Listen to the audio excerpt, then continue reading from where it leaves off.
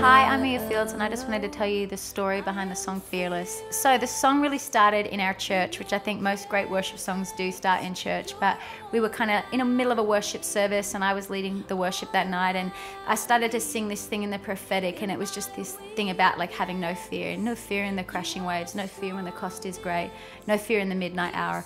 You've given me a spirit of power. And, um, it was mainly because like I'd um, when I moved to America from Australia, I'd never struggled with anxiety before, but I started to have really bad anxiety when I moved to America, and I, it wasn't about the move; it was just a season where I started to struggle with anxiety, and I started to um, have panic attacks. Which anyone who knows me knows that's completely not my personality, and I even am the sort of person that's very rational all the time.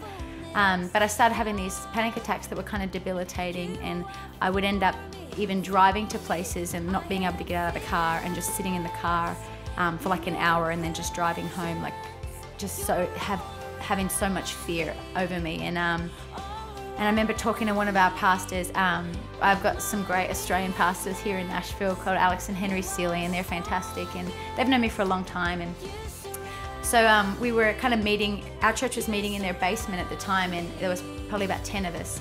And I remember talking to Alex about, um, about just struggling with anxiety and about how I'd driven even to the doctors to go on medication a few times, and I hadn't been able to get out of the car, so I was just, it was kind of crippling for me. And, um, and I remember Alex said, like, God wants to set you free from this. And, and I and I kind of struggled with that because I felt like I had to get free in that moment, which was even more pressure and more anxiety. And um, and then she goes, you know what, we're just going to pray about it and like, let's just not worry about it now, but let's just pray about it. And we went downstairs and it's amazing how the presence of God changes things. And um, right there in like their basement, we're having a prayer meeting and, and we just start praying and Alex just gets this word for me and it's a word that just completely disarmed all the fear and all the anxiety. And, and I think that's the truth of, of all things that like when God speaks something in love and God speaks to the root of something it, it uproots it and it has no power to grow in your life anymore. So whatever your journey is with like fear and anxiety or wherever, wherever you're at in that journey like um, I love being able to say like that God's plan for you is freedom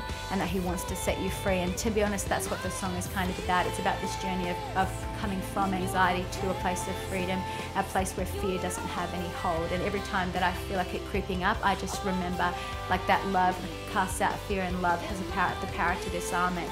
And um, I even have just sung this over myself so many times just to disarm that whole thing of fear. That even when I don't feel it, I'm going to sing like I don't have fear, and that getting in the presence of God begins to like like untangle all the stuff and untangle all the anxiety and worry. So that's really what the song's about, and I hope that you will um, even find some freedom in it yourself and begin to sing it over yourself even before you feel free from fear, and that it will be part of your journey to getting free. You